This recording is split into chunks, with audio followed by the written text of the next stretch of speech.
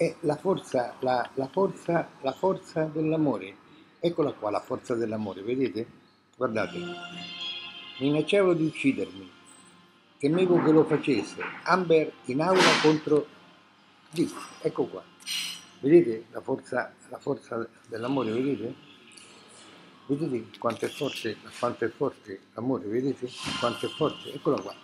E io l'ho sempre detto, che l'amore è quella forza che, che, che sposta le montagne, ma poi dopo ti porta in tribunale col tuo avvocato. Perché avviene tutto ciò?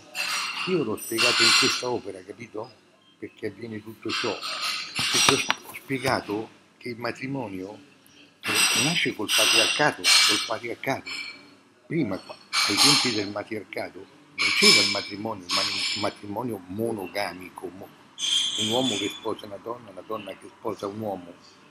C'erano altre forme di matrimoni, diciamo matrimoni, c'era la famiglia matriarcale che era fatta da tanti uomini che vivevano con tante donne e via di seguito. Poi con, il patriarcato nasce la proprietà privata e nasce anche il matrimonio monogamico patriarcale, e per cui il patriarcato tutti continuano a sposarsi, tutti continuano a sposarsi e poi finiscono quasi tutti in tribunale, Do, dopo in tribunale, tutti, e quelli che non finiscono in tribunale eh, vivono insieme come separati in, in, casa, capito? Come separati in casa.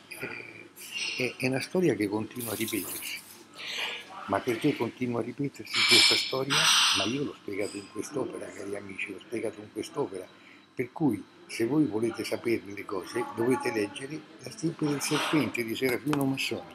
Ok, l'amore è quella forza che sposta le montagne e che poi porta in tribunale assieme all'avvocato.